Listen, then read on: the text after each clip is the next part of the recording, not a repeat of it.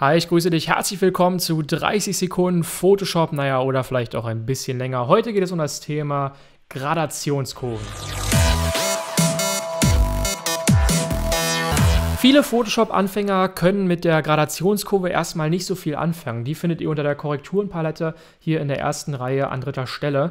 Und wenn ihr die mal öffnet, dann, ja, dann sieht das erstmal alles sehr merkwürdig aus. Was man allerdings erkennen kann hier, das ist das Histogramm, was dargestellt wird. Das sieht man hier oben auch nochmal. Und das Histogramm zeigt ja an, wie viele Bereiche des Bildes wie hell sind. Und alles, was hier links ist, ist mehr dunkel und alles, was rechts ist, ist mehr hell. Das heißt, wir haben hier doch in diesem Bild, was jetzt hier geöffnet ist, mehr dunkle Bildbereiche als helle Bildbereiche. Also die helle Bildbereiche sind hier die Hauttöne und alles drumherum ist dann doch eher dunkel gehalten, die Haare, der Hintergrund und hier auch der Oberkörper.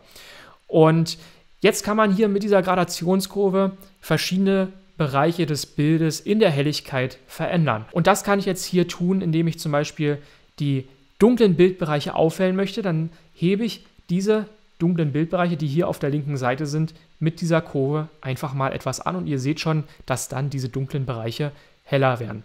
Und andersherum, wenn ich die hellen Bildbereiche, also den rechten Bereich des Bildes hier, dunkler haben möchte, dann kann ich genauso gut anfangen, hier diese Kurve abzusenken und dann werden diese hellen Bildbereiche dunkler.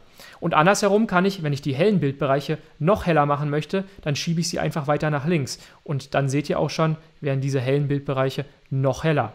Andersherum kann ich auch die dunklen Bildbereiche noch dunkler machen, indem ich sie hier weiter nach rechts schiebe. Und dann seht ihr auch schon, wird der Kontrast sehr viel stärker. Meistens ist es aber eher so, dass man diese Gradationskurve nicht so anfasst, wie ich es gerade getan habe, nämlich an den Endpunkten, sondern man setzt sich hier irgendwo in der Mitte die Punkte und fängt dann an, eine Kurve zu basteln. Und deswegen heißt das Ganze auch Gradationskurve.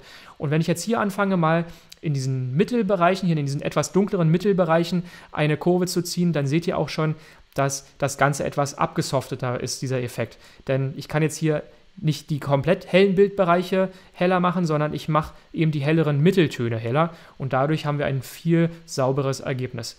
Ich habe jetzt hier insgesamt einfach den Kontrast angehoben, indem ich hier die dunkleren Bildbereiche dunkler gemacht habe, die hellen Bildbereiche heller. Das ist jetzt die eine Seite, was man mit diesen Kurven machen kann. Man kann hier unendlich viele Punkte setzen und theoretisch hier ganz crazy Kurven basteln, was allerdings meistens zu eher komischen Ergebnissen führt. Ich möchte euch jetzt aber mal zeigen, was man noch mit dieser Kurve machen kann. Ich öffne sie jetzt hier einfach nochmal, denn hier oben gibt es noch dieses Menü RGB, Rot, Grün, Blau kann man hier noch auswählen. Und was das bedeutet, möchte ich euch jetzt mal kurz zeigen, denn wir haben bisher nur in diesem RGB-Modus gearbeitet, in dem man normalerweise immer arbeitet. Aber ich kann jetzt hier auch noch anfangen, die einzelnen Kanäle, die einzelnen Farbkanäle des Bildes auch mit diesen Kurven nochmal anzusprechen. Ich kann jetzt zum Beispiel sagen, ich möchte nur die Rottöne bearbeiten und diese Rottöne möchte ich verstärken. Dann hebe ich das Ganze hier an und ihr seht schon, das ganze Bild wird roter. Röter. Jetzt kann ich aber genauso gut in die andere Richtung gehen und sage, ich möchte die Rottöne mal rausnehmen. Und was jetzt passiert, ist für viele verwirrend. Jetzt wird das ganze Bild nämlich auf einmal blau. Und jetzt zeige ich euch einfach mal ganz kurz den RGB-Farbkreis, denn darauf basiert das Ganze.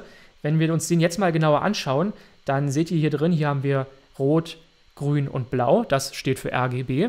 Und außen herum haben wir dann noch Gelb, äh, Lila und Türkis. Und das sind halt die Komplementärfarben jeweils dazu. Also zu dem Blau ist die Komplementärfarbe eben Gelb, zu Grün ist sie Lila und zu Rot ist sie ja Türkis.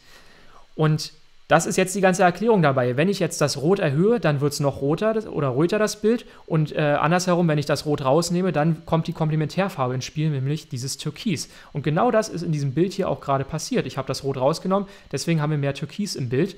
Und andersherum, wenn ich das jetzt mal hier wieder rausnehme und dafür aber den äh, Grünkanal anwähle und den jetzt erhöhe, dann haben wir entsprechend mehr Grün im Bild. Wenn ich das Ganze hier rausnehme, dann haben wir entsprechend ihr seht es schon, mehr lila im Bild. Und genau das muss man sich nur verdeutlichen. Wenn man diesen Farbkreis sich mal genauer angeguckt hat und den so ein bisschen verinnerlicht hat, dann weiß man auch ganz genau, was man hier in diesen Kurven machen muss, um entsprechend einen Farblook zu bekommen.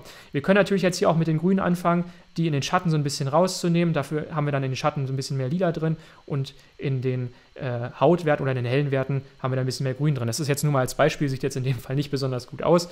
Aber man kann dann auch hier anfangen, komplexe Kurven zu bauen. Dadurch kann man schöne Bildlooks erstellen. Man muss sich einfach so ein bisschen reinarbeiten in diese Kurven, in diese Gradationskurven. Wenn man das einmal begriffen hat, dann kann man damit echt eine ganze Menge machen und das ist sehr, sehr nützlich, dieses Werkzeug. Ja, 30 Sekunden sind es wirklich nicht geworden, aber es gibt halt sehr viel zu erklären dazu. Und man kann das auch noch sehr viel weiter vertiefen, aber für den Moment soll es das erstmal gewesen sein. Wenn ihr weitere Fragen zu dem Thema Gradationskurven habt, dann könnt ihr sie gerne unten in die Videokommentare posten und ich werde noch ein weiteres Video dazu machen. Gerade für Anfänger, denke ich, kann man hier noch eine ganze Menge mehr erzählen. Ich hoffe, es hat euch gefallen. Wenn dem so ist, gebt gerne einen Daumen nach oben und ansonsten abonniert den Kanal, falls noch nicht geschehen.